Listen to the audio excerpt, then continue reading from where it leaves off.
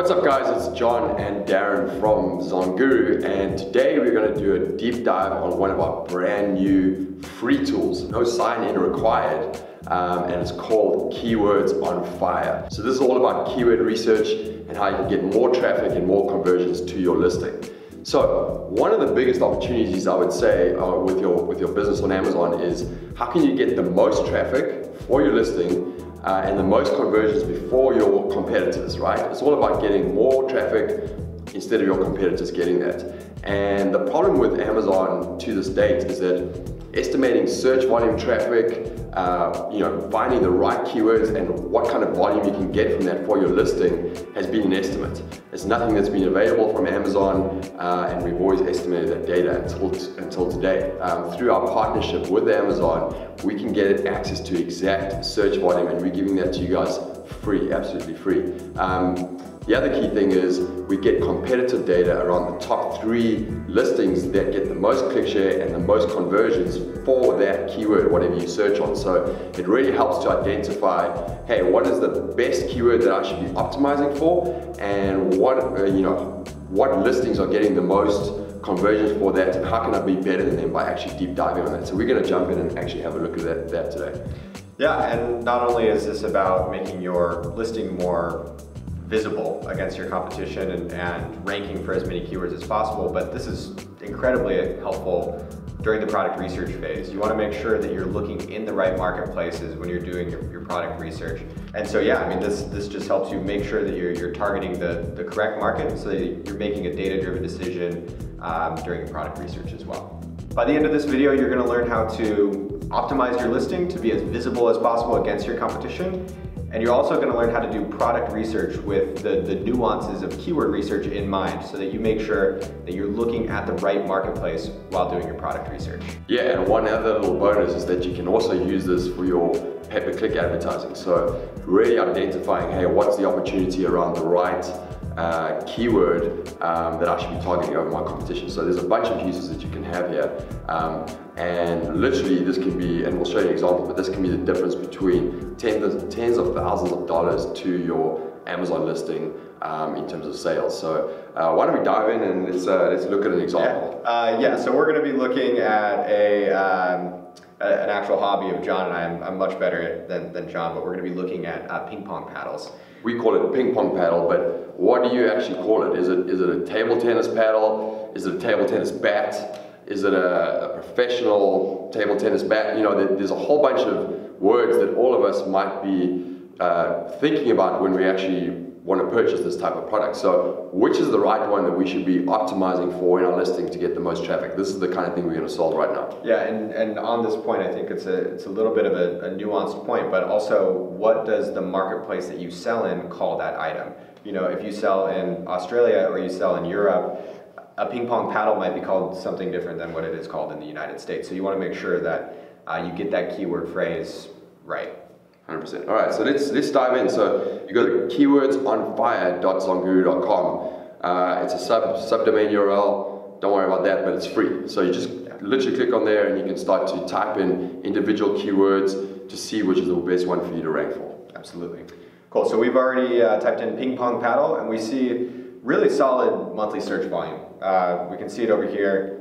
Uh, 22,853 exact match searches per month on Amazon. Yeah, so, so that's important. So that's in the last 30 days, Amazon is telling us 22,000 searches have happened for that specific keyword, just that one keyword exact match uh, for ping pong paddle. And as we talked earlier, there's a bunch out there, so you, you can check it uh, across a bunch.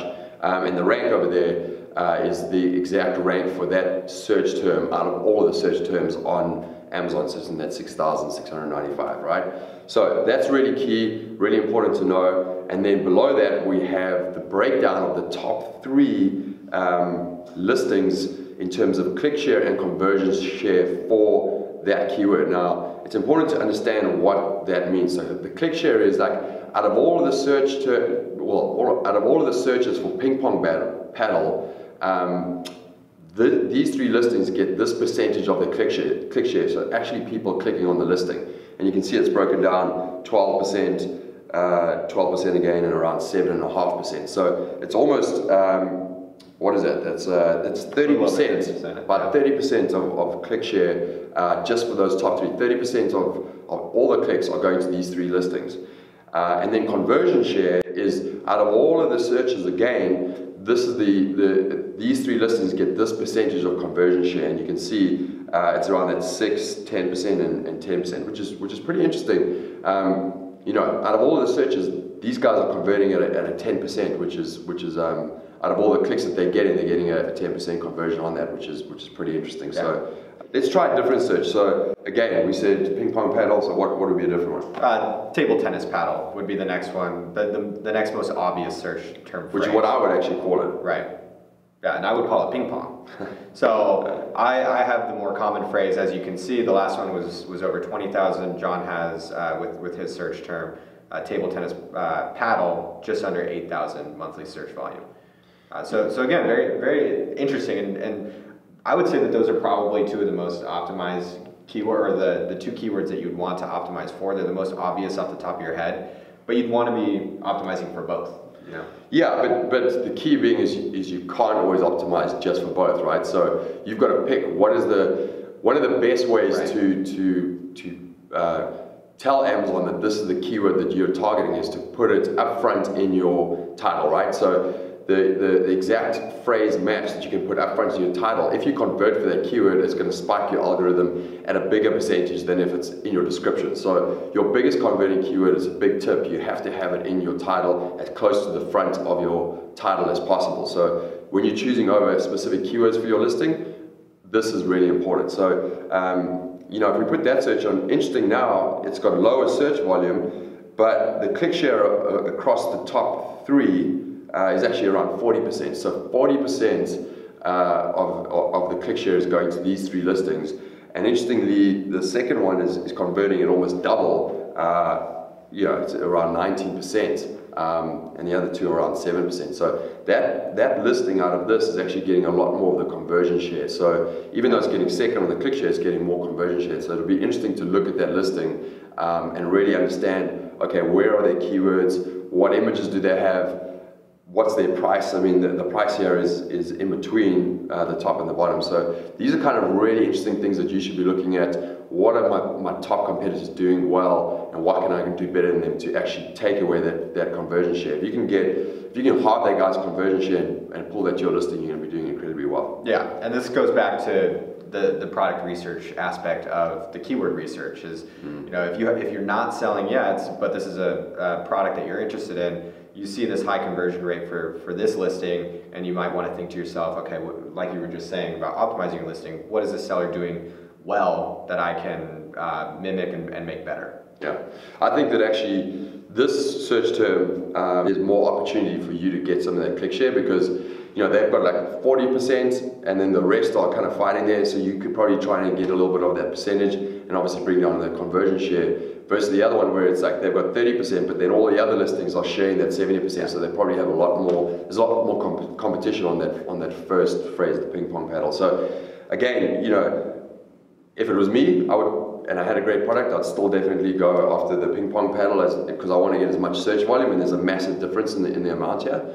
Um, but uh, you know, um, if if there's two list, there's two search phrases that have a similar type of volume, then you really need to look at how much click share is going to the top ones, how much conversion share to make that decision. Um, let's have a look. I think we, we, we tapped in two other ones which are kind of interesting. Yeah, so we have table tennis racket, which is not what I would call a paddle at all. You know, that's that's more in line with actual tennis for me, yeah. as far as my vocabulary goes. And it shows. Uh, the again, the monthly search volume is beginning to drop even lower um, this becomes a, a, less relevant search term to the greater category at just over 5,000 uh, monthly searches. But still, it's quite, even though that's not a, not a huge, uh, well-known phrase, um, you know, it's getting, uh, you know, what was the last one? It was table tennis paddle versus table tennis racket. It's still getting 5,000 in, in volume, so it's still pretty high. Um, and, and, interestingly, this, this top performing listing has 25% of the conversion share because they literally have table tennis racket yeah. built right into their title. And look at their click share, 34% right. just to that one listing. So this guy looked at it and said, okay, I'm not going to go for the biggest term here. Um, so he's, he's been smart about it because he's like, okay, well, table tennis paddle is getting 7,000 volume, table, table tennis racket is getting 5,000. There's not that much difference, and, but no one is competing on that, and I've managed to dominate that category. So he's probably getting a lot more sales by by optimizing for that specific keyword than the one before. So that, yeah. that's kind of the example there. And then on the flip side, if you look at ping pong racket, and we knew that ping pong had more volume, it just you know, uh, you know, it's, it's, scuttled here. It's only at 992 search volume. So this is something that you just wouldn't target. But interestingly, the ping pong didn't, didn't really um, drive that much volume on this one. So. I would say that out of all of the listings that we've looked at so far, this uh, table tennis uh, paddle professional is, is probably yeah, one you generally speaking the the, the best performing listing. And uh, I, I, I, thought it'd be interesting for us to just look at this listing, see what they're doing right, whether that be their listing copy or just the, the general vibe of their, their brand through their product images. So uh, as we can see, compared to the, the images of the other listings, this, this seller has the, the product up front, it looks like an insert, a carrying case, and their packaging, which, which just reiterates that this is like a, a legitimate uh, table tennis ping pong brand. Mm-hmm. Um, so, so very cool, cool photos. And then we can see as they begin to go down, really great uh, overlays in their product photos. But as you begin to get into, into their lifestyle photos, uh, it becomes uh, all about kind of this performance uh, vibe of the brand. So you've got somebody that looks like a pro, is putting some nice English on the ball, uh, and, and then uh, a female uh, table tennis star as well. All right, guys, so just to recap, if you're looking for what keyword will drive the most volume to your listing and which one you should target over your competitors so that you can get the most search volume and get there before your competitors do, have a play with this tool. Make sure you put in all the keywords that you can think of and see which one you should target for your listing, for your PPC, and for your product research. Uh, that's it from, from us. Yeah, and if you liked what you learned today, don't forget to like, subscribe to our Facebook page, our YouTube channel. We're going to be doing a bunch more content just like this uh, knowledge bomb after knowledge bomb. Uh, so yeah, don't forget to like and subscribe. Cheers for now. Cheers.